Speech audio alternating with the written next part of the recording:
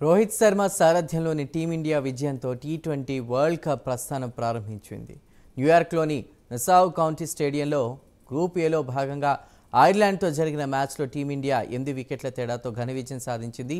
Team India toss గెలిచి bowling ఎంచుకుంది. దీంతో తొలుత బ్యాటింగ్ చేసిన ఐర్లాండ్ జట్టు పదహారు ఓవర్లలో తొంభై ఆరు పరుగులకు ఆల్అౌట్ అయింది. అనంతరం బ్యాటింగ్కు దిగిన భారత్ తొంభై ఏడు పరుగుల లక్ష్యాన్ని రెండు వికెట్లు కోల్పోయి పన్నెండు పాయింట్ రెండు ఓవర్లలో ఛేదించింది. కెప్టెన్ రోహిత్ శర్మ హాఫ్ సెంచరీతో రాణించగా రిషబ్ పంత్ ముప్పై ఆరు పరుగులతో జట్టును గెలుపు తీరాలకు చేర్చాడు. మరోవైపు ఈ మ్యాచ్లో హార్దిక్ పాండ్యా మూడు వికెట్లు పడగొట్టగా బుమ్రా హర్షదీప్ చెరో రెండు వికెట్లు దక్కించుకున్నారు. ఇక టీమిండియా తన తదుపరి మ్యాచ్ను జూన్ తొమ్మిదిన చిరకాల ప్రత్యర్థి పాకిస్తాన్తో ఆడనుంది.